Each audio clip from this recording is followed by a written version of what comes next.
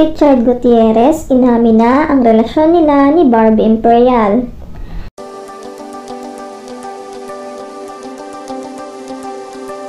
Usap-usapan ngayon sa social media ang mga larawan ni Richard Gutierrez at Barbie Imperial na magkasama sa gastropub sa Alabang nito lang January 6, 2024. Sa larawan nga, kitang-kita ang sweetness at kilig sa mga kilos at galaw ng mga ito.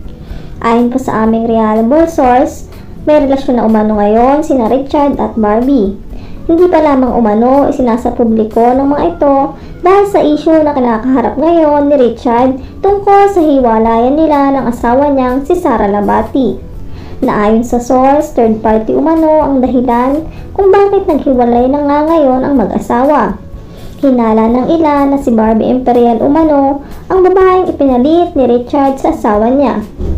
Samantala, marami naman ang inis ngayon kay Barbie dahil sa dami umano ng lalaki sa mundo. Bakit umano kay Richard pa na pamilyado at mamasboy ito nakipagrelasyon?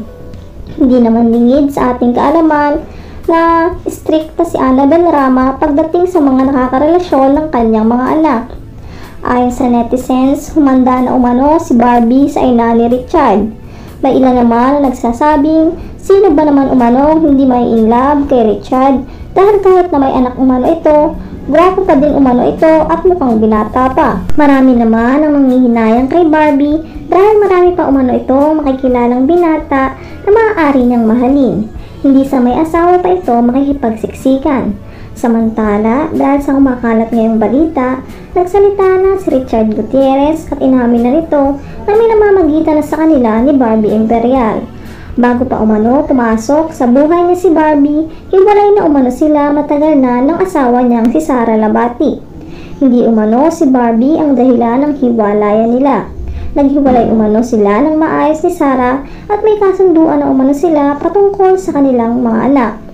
Sana din umano ay wag nilang basta husgahan si Barbie dahil wala itong inagaw, minahal umano ni Richard si Barbie dahil sa mabuti nitong puso at pagkatao.